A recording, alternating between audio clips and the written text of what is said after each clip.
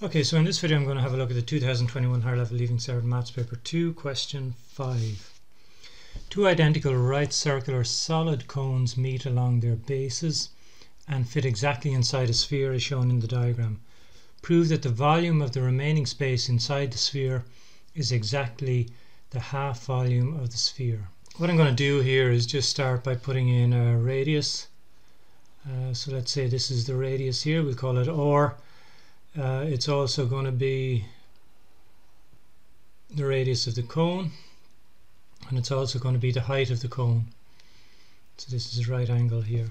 So we've got to just work on volumes here. So we've got to use our volume formula. So we know that the volume the volume of a sphere is 4 over 3 pi r cubed. The volume of a cone is one third pi r squared h we have two cones so what we've got to do is multiply this by 2 uh, this is our total volume of the sphere subtract and see what we get. So let's take um, twice the volume of the cones. So that's going to be 2 over 3 pi r squared h.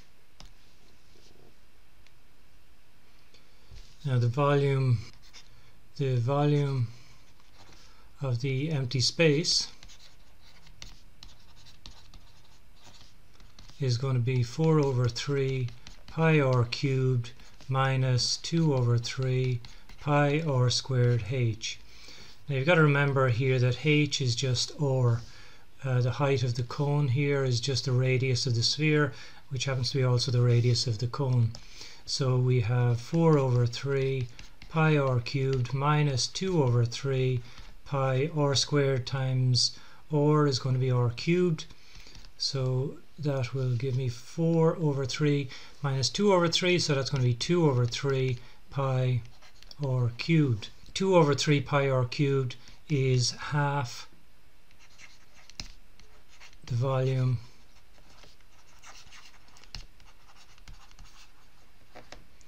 half the volume of the sphere in part 2 here, the combined volume of the two cones is 686 over 3 pi cubic centimeters. Find the radius of one of the cones. So the combined volume of the two cones. So in other words, 2 over 3 pi r cubed.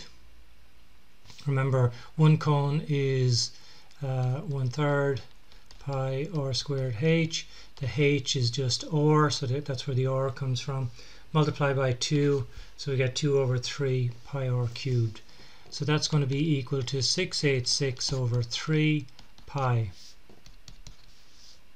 Now the pi's will cancel and we get 2 over 3 r cubed is, like, is equal to 686 over 3 actually the 3's here will cancel as well. We can multiply both sides by 3 so that will give us 2 r cubed is equal to 686 uh, divide by 2 r cubed is equal to 343 and then all we've got to do is get the cubed root of 343 and that's just 7 so 7 centimeters.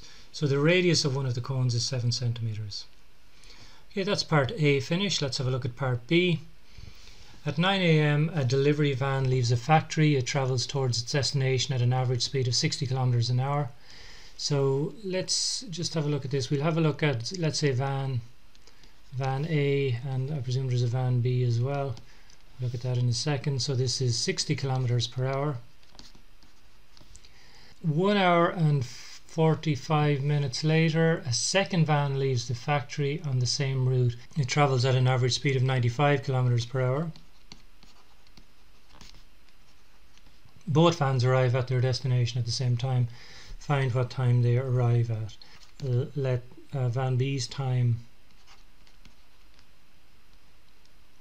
Let van B's time equal T. That would mean that van A's time then would be T plus 1 hour 45 or 1.75 1 and 3 quarter hours plus t. That's how long it takes van A to get to the uh, destination. Now, if they travel and arrive at the same time, that means that the distance traveled is going to be the same for van A and van B.